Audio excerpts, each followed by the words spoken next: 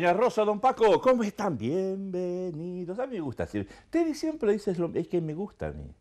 A mí me gusta esto de energía positiva. Uno tiene. Es más, cuando uno se levanta con eso de, uff, el despertador que sonó, que parece que las sábanas a uno lo abrazan y no lo dejan, es cuando más ganas uno tiene que tener y más fuerzas tiene que tener para pegar ese salto de la cama.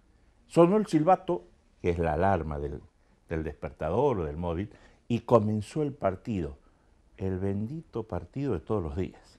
Y ojalá que todos los días podamos jugar el partido, porque si no podemos jugar ese partido ya, la cosa se complica. Y hay que jugarlo con ganas, hay que ganar cada uno de esos partidos. Y hoy nosotros estamos jugando el partido y venimos con espíritu positivo para ganarlo, para, ser felices. Eso es ganar el partido. Ser felices, pasarla bien, no olvidarnos de decir eh, te quiero, no, olvidar, no olvidarnos de decirle a un amigo qué necesitas. Y el café de hoy es un café dulce. Es un café dulce porque ha venido a tomar un café con nosotros el amigo Sebastián Cañadas Gallardo, que es el alcalde de Muchamel. Por eso lo de dulce, Muchamel. Mucha, mucha, mucha dulzura ahí va a haber en este programa. Alcalde, ¿cómo le va? Pues bien, bien, nos va bien, nos va bien, no nos podemos quejar. Qué lindo. A mí Muchamel me encanta. Es un bonito pueblo y un acogedor pueblo, sobre todo. Y el nombre, tío. Esto lo de dulce, creo que no soy original al decírselo. Sí, sí, mucha gente lo confunde o, lo, intenta relacionar con la miel, que no tiene nada que ver, más allá de que haya algunas zonas donde haya colmenas, pero no tiene nada que ver, porque mucha miel viene del árabe, en fin, viene de ciudad de comercio, ciudad de paso, y no tiene nada que ver con la miel. Pues, bueno, pues no rompamos la poesía. Mucha que era ciudad de comercio, ciudad de paso. Pero no rompamos la poesía. No, no, porque la, miel no es la miel de las abejas, es, es la miel del trato de la gente. de la, qué bueno que es eso, me gustó. De la cultura. De la cultura. De la dulzura, Y de la cultura también. de la dulzura y de la cultura. ¿La cultura es dulzura? Sí, claro, evidentemente. ¿Qué tipo de dulzura es la cultura? no, sé. Es un juego de palabras que estamos haciendo aquí. Un juego de palabras, sí. Pero bueno, es, eh, la cultura normalmente es bella, es dulce, es, es agradable. Así que cualquier tipo de cultura, no, no, cualquier tipo, ya sea visual, hablada, escrita, eh, en fin, cualquier tipo, es siempre agradable y siempre es dulce. Y déjeme que siga con el juego de palabras. El deporte también es cultura. También es cultura. Y qué bonito que quedó el campo de ustedes. Sí, sí. Estamos ahí cometiendo algunas obras importantes que eran necesarias y además muy demandadas y parece ser que lo está quedándose como creo que se merece el pueblo. Le voy a dar una buena y una mala noticia. La buena noticia es que el campo deportivo está quedando en la maravilla. La mala noticia es que le va a durar dos meses, porque va a quedar chico. Porque gracias a Dios la gente está haciendo mucho deporte. Sí, la verdad que hemos notado un incremento importante y, en fin, ya junto con el pabellón y el resto de reformas que hemos hecho y la adecuación del, césped y de la nueva pista de atletismo que se ha hecho, se ha reparado la nueva entrada y alguna cosa que queda todavía por hacer, pero estamos ahí acompañando y la gente pues está acudiendo mucho más y desde luego se nota ya una, una demanda importante de pistas, hay gente que ya se queja, oye, que ya no nos quedan horas para jugar en el pabellón. Hay overbooking, como la, la famosa, la famosa palabrita de ahora, ¿no? Sí, pero bueno, todavía, todavía lo vamos llevando ahí porque al ciudadano de a pie que no pertenece a ningún club también tienes derecho a disfrutar de esas instalaciones. Claro. ¿Y, clubes deportivos? Muchos. Están saliendo muchos. Están, pues, mm, sí, están saliendo, sí. Tenemos baloncesto, tenemos eh, ahora balonmano, tenemos el fútbol, fútbol sala, eh, en fin, hay taekwondo, hay bastantes clubes deportivos, hay incluso gimnasia, gimnasia rítmica eh, de chiquitas y, en, en, diferentes categorías, sobre todo, que es lo importante, que hay muchos niños que se están apuntando a esas escuelas deportivas. Dicen los que saben que un pueblo que hace deporte es un pueblo sano. Y hay, que apostar por eso. Pero no, no, tan solo sano físicamente, sino sano de acá. También, mental. ¿Cómo era? Men sana incorpore sano era la, famosa frase. Usted sabe que yo recuerdo allá, no, no, no, le puedo decir exactamente, Sebastián. Lo puedo, lo, puedo tratar de... Muchas gracias. Eh, allá por el 2002 o 2003, tuve la suerte de, de entrevistar en otra cadena a, a Sebastián Cañadas, un hombre, dicho esto con toda la grandeza que esto significa, ¿no? Un hombre de pueblo, un hombre enamorado de su pueblo. Permítame una expresión popular, un tío sencillo, que tenía ganas de trabajar por su pueblo. Y fíjese, usted pasaron ya 14, 15 años, y hoy me lo encuentro a ese hombre sencillo que ya tiene una carrera política, que logró ser alcalde de, de su pueblo, ¿en cuántas legislaturas? Esta es la segunda, desde el 2011 a- hasta aquí. Pero pasé primero una buena etapa por la oposición, Bien, bien, bien, bien, donde se aprende mucho además. bien. ¿Es necesario pasar por la oposición para después ser gobierno? ¿Para saber qué piensan los de la acera de enfrente? A mí me ha venido muy bien, tengo que reconocerlo que me vino bien, aunque, aunque no nos gusta, pero, pero viene bien porque, porque lo que ya no creo que sea tan, tan bueno será pasar por el gobierno y después a la oposición. De eso. Debe ser un poco más complicado. Sí, Pero la otra, el otro paso es importante y creo que viene bien, desde luego a mí me vino bien. porque pasar de la oposición al gobierno significa crecimiento. Lo otro es... Y, lle- y llegas al, al- al ático de tu carrera después de haber hecho todos los pisos del edificio, que me imagino que será la formación también. Sí, claro. ¿En todo este tiempo ha podido hacer lo que soñaba? ¿El, el Sebastián Cañadas político ha podido cumplir los sueños de Sebastián Cañadas ciudadano? Yo quizás que tendría que decir que antes de entrar en política ya también había cumplido muchos de esos sueños de, de- de Sebastián Ciudadano, Seba, como me gusta que me De, digan. a de. Seba. Seba, ¿Lo puedo llamar Seba? Yo, Sí, sí, yo me voy tomando confianza. Sí, sí, sí, sí, por, por favor. Además es que me gusta que me llamen Seba. Ajá. En, No en- porque- en el bar de los amigos le llaman Seba. Sí, sí, sí. Y entonces yo ya había cumplido algunos de esos sueños que de Seba persona, de Seba ciudadano, Mm. porque, en fin, profesionalmente pues andaba bien y luego ah, a nivel de amistades y de, y de dentro de la in- de in- de- del ser reconocido en el pueblo o ser valorado en el pueblo también también lo había conseguido porque había pertenecido, pertenecía y pertenezco incluso ahora a muchas, algunas de las eh, asociaciones más importantes del municipio, ¿Cómo? relacionado con el fútbol, Con- con el ciclismo, fútbol, con la colombicultura, clubes que siempre mm, relacionado con el deporte y con el tema de la fiesta, evidentemente. También fui presidente de una comparsa de moros y cristianos de Muchamel, mm, grande, y también me tocó por vicisitudes de, eso presidir temporalmente la comisión de fiestas por un tema escabroso que hubo y me tocó también presidir un, temporalmente, ya digo, Ujú. provisionalmente la comisión de fiestas, pero, pero en, esos, en esos ámbitos también se, uno se siente realizado y además ámbit- ámbitos en los que considero más eh, importante pasar por ellos, trabajar para pasar a la política. Que entiendo que eso fue lo que me, lo que me hizo pasar a la política, porque yo no soy político, yo llegué a la política yo con 40, 43 años, o- y entonces eh, sí bien es verdad que, que me lo habían propuesto antes, pero nunca había pensado entrar en política.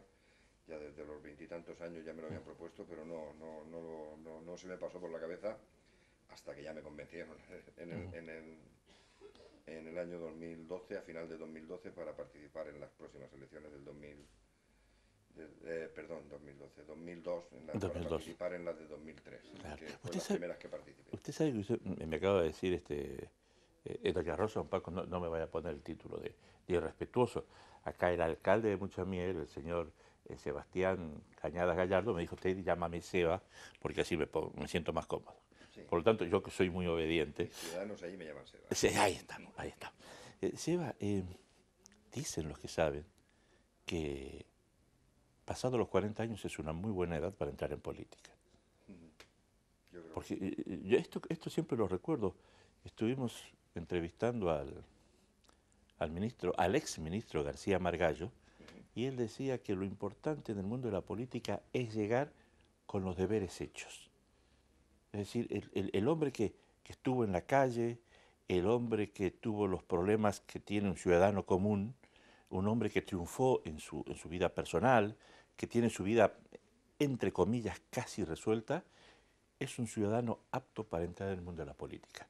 Los que llegan a la política Dice, para hacer carrera, yo eso creo que hay una parte que les falta. Yo esa es mi opinión. Siempre la Co- comparte con- el exministro. La comporto, la comporto perfectamente porque creo que es así. Creo que es así. Y casi, se- y si casi sin querer fue su historia. Casi necesario que pasar Claro. por ese mundo. El tener esos, eh, pues esas, eh, ese un poco, entre comillas, abandono de la familia porque Mm. te estás dedicando a otros menesteres, porque dirigir una asociación o dirigir una comparsa o dirigir cualquier asociación deportiva también lleva tiempo Claro. y esas horas de cabreo con la familia porque no estás y, y encima lo haces, eh, como digo yo, por amor al arte, por, por amor a lo que estás haciendo, Sí. no, no sin ninguna compensación eh, económica. Sí. Yo hay una frase que me gustó cuando la dijo, y me la, la dijo un futbolista que conoceremos todos, eh, Samuel Eto'o, Oh. cuando jugaba con el Barcelona. Él decía así cuando, cuando dijo una vez cuando me entrevistaron que él estaba haciendo lo que más le gustaba y encima le pagaban. Así Sí. que es, es- es una forma de vivir. Y luego, entendiendo que yo era una persona que, pues, que estaba abierta a participar en el mundo asociativo del municipio, cuando ya me decidí entrar a la política, luego pues eh, me ha entusiasmado poder hacer lo que yo quiero para mi pueblo desde ya no solo del otro ámbito social o deportivo, sino del ámbito de gestión de tu ayuntamiento, de gestión de tu municipio y colaborar a que tu municipio sea mejor, con eso uno se siente súper realizado. Debe ser. Por eso siempre digo que soy alcalde. Me Claro. gusta que me digan alcalde. Ahora soy diputado provincial, pero es un- una cosa pasajera. Alcalde es ya de...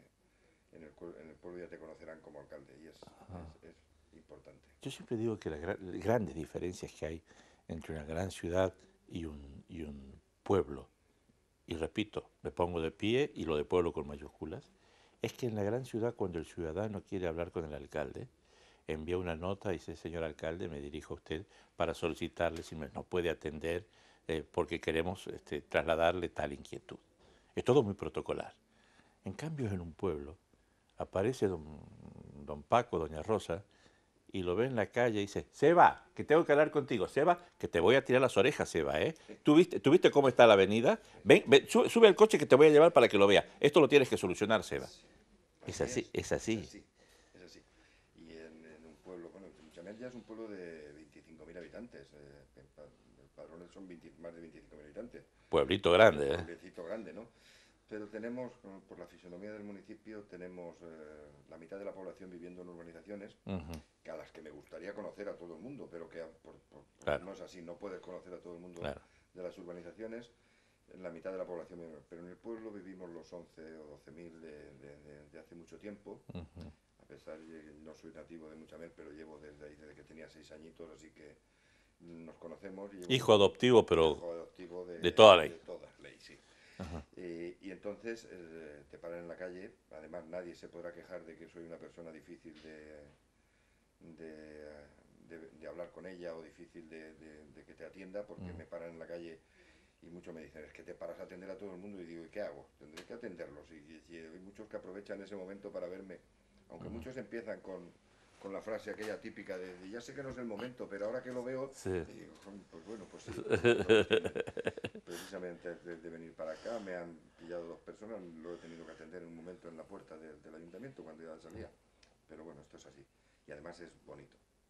A, a- a- mí me- me- me molesta, sinceramente se lo digo, eh, Seba, me molesta aquellas personas que llegaron a un puesto importante en su, en su patria pequeña, que es su, que su pueblo, que eran amigos de los vecinos, y esos vecinos amigos lo hicieron alcalde, por ejemplo, y cuando son alcalde se, se almidonan, es un lenguaje muy, muy particular, eso de...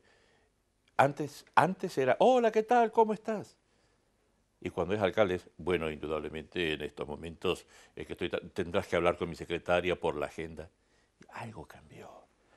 Yo veo que usted no cambió. No, alguien pensará que sí, porque Ah. alguna vez pues Ah, mejor- para, para, para gusto los colores. para gusto colores, pero saben que no, saben que no es así. Sigue siendo Seba. A mí me gusta y de hecho hay mucha gente que dice que, que me sigue y, a ver, que le gusta como soy por eso, precisamente, porque soy el mismo que era. Yo hago las mismas costumbres, yo sigo tomándome la cerveza con los amigos como la tomaba antes, haciendo las mismas cosas. ¿En qué bar? Sigo dedicando. ¿En qué bar? Por, por vecindad, pues eh, normalmente voy a los, a los dos eh, bares más cercanos allí a mi, a mi casa, A su- que además los dos dueños son amigos míos de infancia, entonces eh, voy a muchos más, ¿no? Pero, pero allí pues es donde más veces voy, porque son dos personas. ¿Y el, dos- gru- y el grupo de amigos, el grupo de amigos sigue siendo el mismo? Sigue siendo el mismo de hace mucho tiempo, bueno, quizás se va ampliando, pero, pero los amigos, amigos de la infancia Mm. siguen siendo los mismos y, y eso me- que me lo digan, pues dicen, pues, pues como yo, lo que yo quiero ser. Ajá. No quiero vanagloriarme de ser alcalde, sino disfrutar siendo alcalde y, y para ayudarlos. ¿Y, y, desde que es alcalde le dejan ganar la partida de dominó? ¿Qué va? Tenemos unas riñas de la leche. Pero una riña, además, de que, que jugamos al dominó, Ajá. a veces tenemos que dejar una temporadita de jugar porque no. ponemos- Se- nos se se pone tensa la cosa. Y, cu- y cuando se pone tensa le siguen llamando cebo, ya le dicen alcalde. Sí, no, ¿Eh? no, no, me llaman Seba porque esos son. ¿Quién, quién es el rival más difícil que tiene? Hay que dar nombres, ¿eh? Hay, que- hay que mojarse. Pues, Seba. somos un grupo de amigos, pero él se- además eh, se alegrará de que lo nombres. eh, Ah, Tenemos un amigo que es Antonio y que es el que más se cabrea jugando al dominó, más interés pone y, y el, que, el que más... eh, El que mete más caña. el que mete más caña, sí. Hombre, es indispensable un personaje así en una partida de dominó. Claro, claro, claro. claro. Es el que le pone Si pimienta, le pone, le, ah, le pone sal a la si cosa. no, no hay emoción. Le pone sal. ¿Dónde nació? En Benamourel, un pueblecito pequeño de la provincia de Granada, al lado de Baza. Y con seis años llegó a, a Muchamel. Llegamos a Muchamel, sí. ¿Razones de trabajo de papá, de mamá? Sí, mi padre siempre se ha dedicado a la hostelería, se dedicaba ya a la hostelería allí en Benaurel, a, un- a una, la fonda, vamos, la venta que llamaban allí, la venta Cuatro Caminos, que, que era lo, lo más importante allí, pero mi padre, y en Muchamel ya así lo han conocido, era inquieto, quería mejorar, quería mejorar y, y quería pues eso, sacar, eh, pues, en fin, no quedarse allí estancado en el pueblecito porque fue la época de la inmigración, por allá por el año 65, 66, a partir- y casualmente nosotros no íbamos a Muchanet. Es una, una historia un poco eh, rara, vamos, íbamos a Barcelona, nos íbamos a la zona de Sabadell, de Ripollet, de Sardañola, que es donde teníamos toda la familia. Toda mi familia está allí, de tanto materna como paterna. Ah. Yo, yo no, yo no soy muy bueno en geografía, pero de Muchamel a Barcelona hay una distancia Hay una distancia, sí. eh, importante. Pero la carretera general pasaba Ha pasado pasaba por allí, por eso digo que es una historia rara. Y me acuerdo perfectamente, mi padre me lo contaba que pasando por allí, pues allí había justo a la entrada de Muchamel, que era la carretera la antigua nacional, y había un almacén de tomates muy grande, me acordaré todo esto, y los de Muchamel se acordarán Casa Mijana, que se llamaba, era un, ¿Casa? era un catalán el dueño. Ah, ¿Casa, perdón? Casa Mijana. Mitjana. Y era el dueño de un almacén allí importante. Y pues mi padre, mm, yo creo que iba con un camionero que fue a ver primero a ver el local porque allí la familia de allá de Barcelona le había conseguido un local para, para irse allí, y tenía visto un local. Y paró allí con el camionero por, por lo que fuera y me acuerdo que me decía, dice, vi un cartel que decía, se vende piso y local por 290.000 o 250.000 pesetas de entonces y pensó, dice, aquí, mi padre que era muy, eso, creo que vivo para los negocios, dice, esto puede ser un buen sitio. Y dice, y volvió al pueblo y dijo, no nos vamos a Barcelona, nos quedamos en Alicante, en un pueblecito de Alicante al lado de Muchamer. Y compró el piso y el local. No llegamos a Barcelona. Es una idea, una... Luego allí montó el, el bar, que además es un bar que está a la entrada del pueblo, le llaman bar eh, Cañadas, le llamaban, luego lo cambiaron, ya cuando mi padre lo tuvo que vender, por problemas de salud de mi madre, que no... Y entonces ya lo tuvo que vender y, y le intentaron cambiar de nombre, y le te- tuvieron que volver a cambiar el no Cañadas, porque allí todo el mundo lo conocía por el Cañadas. Por el ¿no? Cañadas. Por el Cañadas. Será, será el Cañadas toda Ajá. la vida. ¿Cuál es la gran lección que le dejó su padre? ¿Qué es lo que recuerda de su padre? Porque, ojo, el día que, el segundo en el que su padre vio ese cartel de, de la venta por 295 mil pesetas, ese día se estaba dando un giro de 180 grados o se estaba escribiendo una nueva página Sí, en, en- la historia de la familia. Mm, Desde luego. Y mi padre, como digo, era una persona pues, muy inquieta, muy emprendedora. Él ya en el pueblo ya era de... En todos los pueblos siempre hay algunas personas, y en un pueblo pequeñito más, que son los que se encargan de, de mover el cotarro, como se suele Sí, señor. de organizar Sí, en aquella época, pues fíjate. Sí, señor. Y, y mi padre ya era de los que allí movía aquello y organizaban las, con las, las corriditas de toros, esas, las vaquillas y, en fin. Con eh, hormiguitas en el cuerpo era papá. no, Bien. no se estaba, no, podía estaba estar quieto. demasiado tiempo quieto. Bien. ¿Cómo se llamaba papá? Eh, Francisco, Francisco. ¿Y mamá? eh, Gertrudis.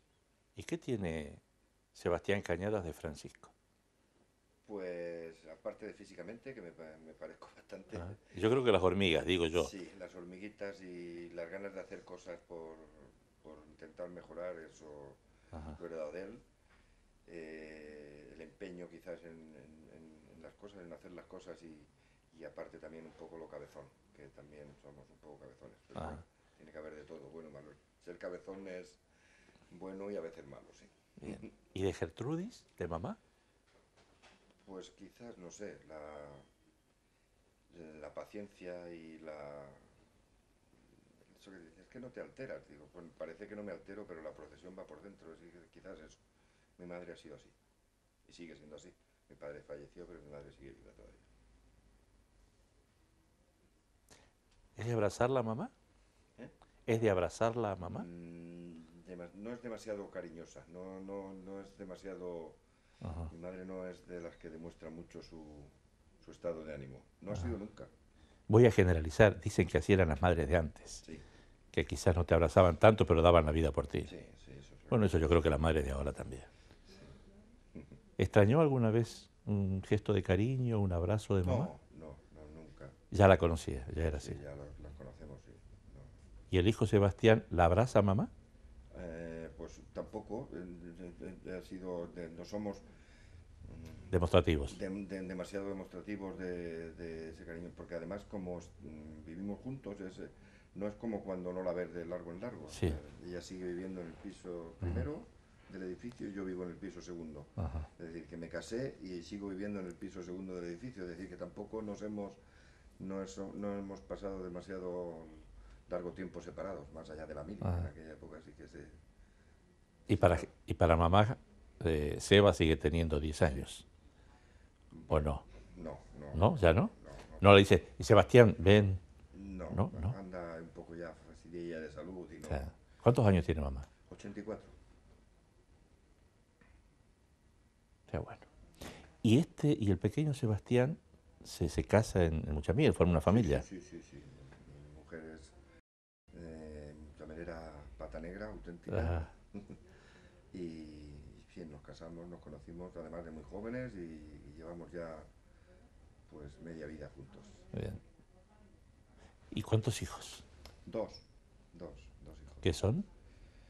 Eh, bueno, uno tiene 29 años, está trabajando y el otro todavía tiene 21 y está estudiando. ¿Se ve reflejado en sus hijos? Sí. Sí, sí, sí. Yo me veo reflejado en ellos. Espero que ellos se vean reflejados en, o se reflejen en mí, pero me veo reflejado en ellos. sí. El mayor que ya anda, pues eso, trabajando y está en Madrid, es decir, que ya hace su propia, ya es independiente, Ya, ya, ya, ti- ya está en la autovía. ya ya. está en la autovía, sí, eh, Ajá. eh, pues más que quizás el pequeño, el pequeño sigue estudiando todavía, pero quizás eh, eso, el espíritu aventurero que lo- creo que lo han heredado de su abuelo, porque los dos están por fuera, les gusta estar por fuera. El, el ADN de don, Fra- de don Francisco era, ¿no?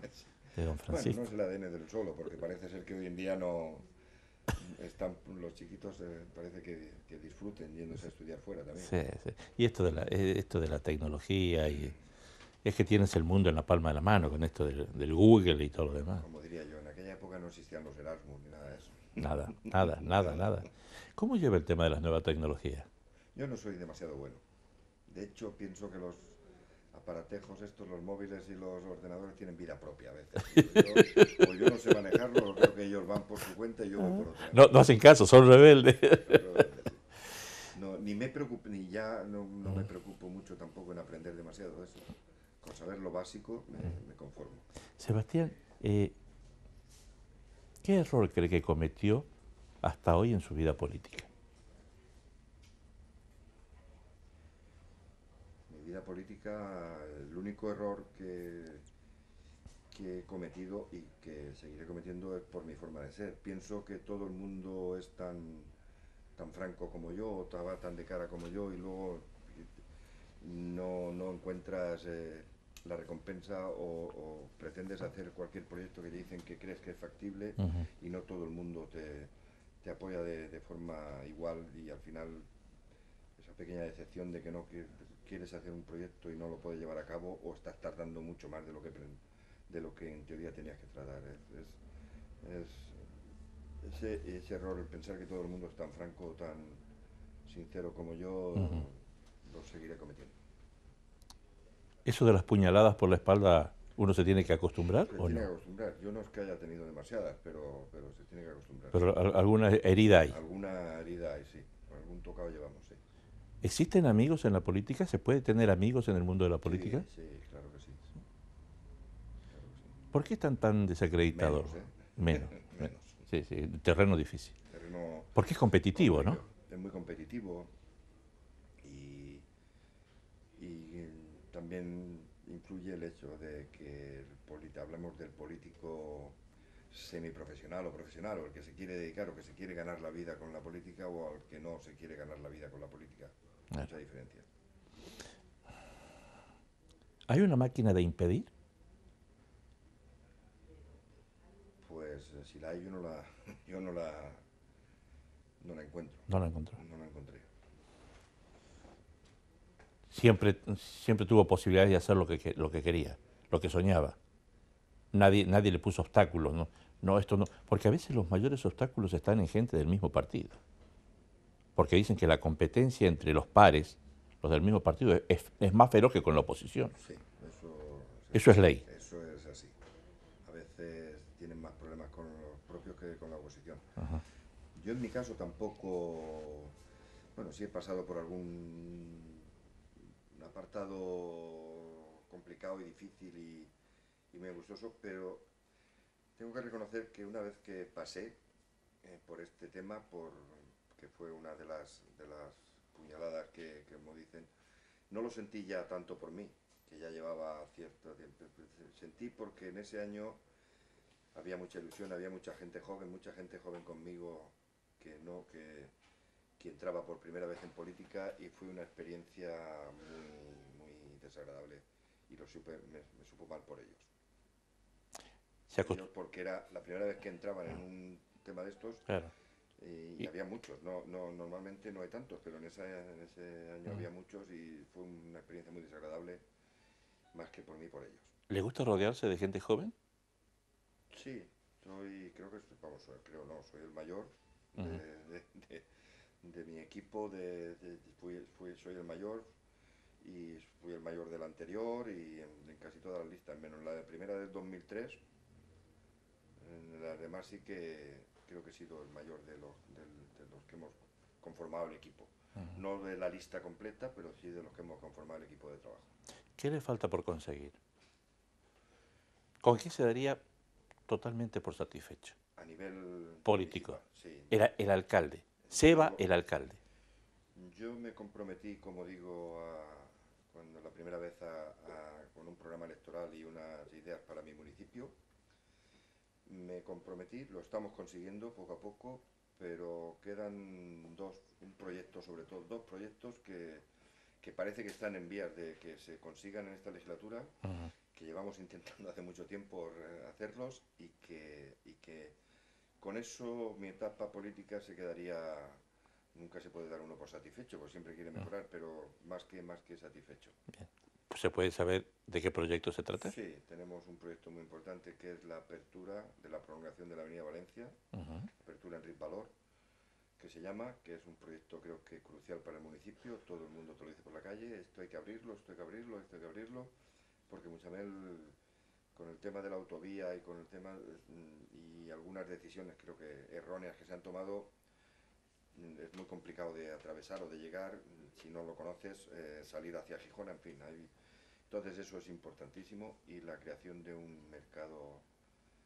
donde los grandes productos y los buenísimos productos que tenemos en Muchamel lo podamos poner en valor y nuestra gastronomía un mercado en- en- acorde a lo que es el municipio Que sea un gran escaparate. Sí, porque el mercado de abastos que decíamos es cuando alguien te pregunta en la calle, oye, oiga, por favor, el mercado, le dices dónde está y cuando ven el mercado dice, ¿esto es el mercado? Porque hay ocho puestos, es decir, que no, cuando tiene una gran tradición como Muchamel, como, como ciudad de mercado, con, No, no, no representa lo que es no Muchamel. lo representa lo que es Muchamel. Y ese, ese es otro de los proyectos que, que además es una subvención que, que a través de la Diputación conseguimos, que ha habido mucho ajetreo con esas Sí, subvenciones nominativas y que hemos modificado, pero que tenemos ya también subvención y que esperemos que en- entre el 18 y 19 sea una realidad. ¿Es feliz, Eva? Sí, sí. ¿Qué le falta? Mm, Bueno, me falta culminar mi, mi proyecto a nivel político, culminar mi proyecto. A nivel personal, no demasiado, porque quiero, prefiero seguir, vivir y poder llegar a cumplir muchos años y que mis hijos, pues, eh, ver nietos y todo lo típico que, que cualquier otra persona. A nivel político me falta cumplir esos objetivos. Y como digo, mi intención es presentarme en una nueva legislatura por, por dejar todo esto como yo creo que debo dejarlo y, y dejar paso. Va a ir en busca de la tercera de legislatura. la tercera legislatura, sí. Cuando pase mucho, pero mucho tiempo, ¿eh? Estoy- pero, pero mucho, mucho tiempo. Y ni usted ni yo juguemos ya en este barrio. Estamos en otro barrio, vaya a saber cuál. ¿Cómo le gustaría que lo recuerden? Cuando alguien lo encuentre a su nieto y le diga, yo tuve la suerte de conocerlo a tu abuelo, tu abuelo era, Una buena persona. Un hombre sencillo y buena persona, que es como soy. No, no le dé más vuelta. no le dé más vueltas. Con eso. Intentó hacer lo mejor para su pueblo y, y ya está. Nada más. Si lo consigo, perfecto, y si no, pues no creo que porque quede una placa en un edificio, porque ha hecho esto, porque ha hecho lo demás allá, no, no soy de muchas placas. De hecho, hemos puesto la placa que era alcalde cuando se inauguró el pabellón polideportivo, pero nada más. Y no, no hay que poner ninguna placa más. Me quedo con eso. Señor alcalde de Muchamel, Seba, gracias. Muchas gracias a vosotros y encantadísimo de estar con, con vosotros. Doña Rosa, don Paco, comenzamos hablando con el alcalde de Muchamel, con el señor Sebastián Cañadas Gallardo. Terminamos hablando con Seba.